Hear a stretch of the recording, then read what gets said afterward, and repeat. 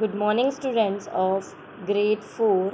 Today we will start our block 1 that is the golden goose.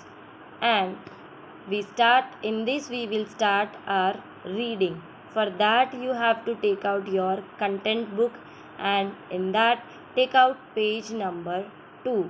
If you see on this screen, each and every line are numbered means you have to also give numbering to the sentences. And wherever the hard words unfamiliar words you see you have to underline them and give them numbering also. Okay now we will start our reading. If you see this picture you will be able to recognize the story easily. And with this we will start our reading a very long time ago, there lived a magical goose. You have to keep your fingertip wherever I am reading. Okay? बहुत लंबे समय की बात है देर lived a magical goose she had beautiful golden feathers she has very beautiful golden feathers. Not too far from these goose lived a woman and had, who had two daughters. there lived a woman and the woman was having two daughters. They lived in an old mud house with creaking doors and windows. Creaking means what?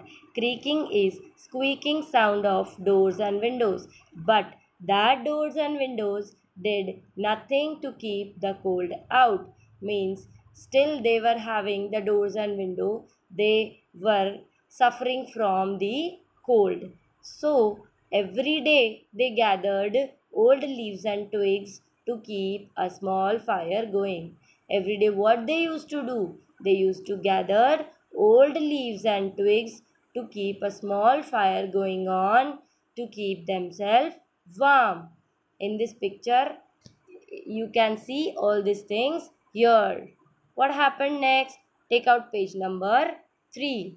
Now, on page number 3, if you see, the goose shook her head in a great sadness by looking at the sadness of the woman and her daughters. The goose also got sad and on seeing how difficult the life was, the woman's life was very difficult. She was in very trouble. She thought, if I give them one of my golden feathers every day, the mother can sell them. What she uh, thought? The goose thought if she would give a golden feather every day, the mother can sell them and live their life happily by getting the money. And with the money, it will bring them, and she, her daughter, can live in comfort. And whatever money they will get by selling the uh, feather, golden feather, they will live their life comfortably and happily this was all the thinking of the goose. Next, this comes true or not, we will see on the next page. This is uh, about all this page. Next page on the 10th line if you can see. After thinking this over, the goose flew to the woman's house. Woman's house, she went to the woman's house and what happened?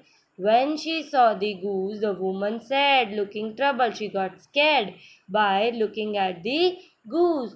Why do you come here? Why you have came here? And we are very poor. हम तो बहुत गरीब हैं we have nothing to give you we can't give you anything we are poor very poor we are not having anything to give you so why you have came year she got scared looking at the goose this is all about today's reading. You have to read carefully and wherever, whatever problem you, are, you face, just ask me. Thank you.